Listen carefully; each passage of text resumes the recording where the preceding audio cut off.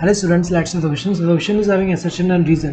You have to select the correct option regarding this assertion and reason whether these are correct or not. Assertion is broadly utilitarian argument is related to the direct economic benefits that we are getting from nature. ये गलत दिया हुआ है क्योंकि इसमें direct benefit वाला नहीं आता इसमें जो मेजर रोल प्ले कर रहा है वो वाला आता है तो हमें पता है कि बायोडाइवर्सिटी का कंजर्वेशन क्यों करना चाहिए इसे हम वो जो रीज़न है उसको हम तीन ग्रुप में डिवाइड करते हैं एक कौन सा है नैरोली यूटिलिटेरियन आर्ग्यूमेंट, दूसरा कौन सा है? Broadly utilitarian argument and third वाला कौन सा है? Ethical reason.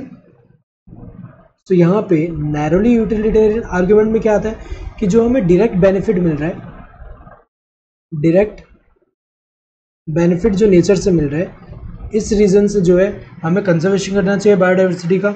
So direct benefit जैसे कि फ़ूड हुआ शेल्टर हुआ फायरवुड हुआ फाइबर जो हुए construction material industrial products even जो मेडिसिन जो ऑप्टेन हो रहा है प्लांट से तो ये जो डायरेक्ट बेनिफिट मिल रहा है, इस रीज़न से हमें जो इनका कंजर्वेशन करना चाहिए बायोडाइवर्सिटी का तो वो किसमें आ रहा है? नैरोली यूटिलिटेरियन आर्ग्यूमेंट में। ब्रॉडली वाला में कौन सा आ रहा है? कि नेचर जो मेजर रोल प्ले कर रहा है मेजर रोल प्ले कर रहा है जो, और जो यहाँ पे मेजर इकोसिस्टम सर्विस जो प्रोवाइड कर रहा है। जैसे अगर हम देखें अमेजन रेन फॉरेस्ट की अगर हम बात करें तो जो total around twenty percent of total oxygen जो अर्थ एटमोसफेयर पे है, वो फोटोसिंथेसिस से प्रोड्यूस कौन कर रहा है? ये जो अमेजन रेन फॉरेस्ट है। तो अगर हम देखें ऑक्सीजन प्रोवाइड कर रहे हैं, इसके अलावा ये जो इवेंट है पॉलिनेशन पॉलिनेशन नहीं होगा तो हमें पता है कि फ्लावरिंग प्लांट्स में वहाँ पे फर्टिलाइजेशन नहीं होगा तो क्या होगा?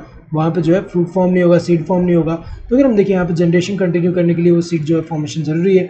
तो ये इवेंट इसके अलावा अगर हम देखें, जैसे कि वॉक करने पर नेचर में वॉक करने से हमें क्या मिलता है? एस्थेटिक प्लेजर मिल रहा है। तो ये वाले जो है किसमें आ रहे हैं?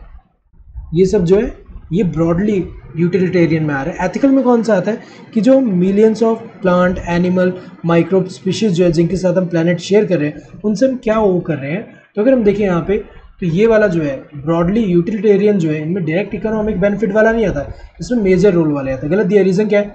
It includes the benefit that nature provides like oxygen pollination etcetera ये तो सही दिया हुआ है। So both assertion and reason are true and reason is a correct expression of assertion गलत दिया हुआ है, क्योंकि एसेशन तो फॉल्स है। Both assertion and reason are true but reason is not a correct expression of assertion ये गलत दिया हुआ है, क्योंकि यहाँ पे जो है एसेशन तो फॉल्स है। Assertion is true and reason is false गलत दिया हुआ है एसेशन फॉल्स यहाँ पे ट्रू नहीं है फॉल्स है। एंड रीजन जो है फॉल्स नहीं है ट्रू है। Assertion is false and reason is true correct दिया हुआ है। एसेशन फॉल्स है रीजन ट्रू है। Correct answer would be fourth one Hope you understood the question. Thank you and all the best.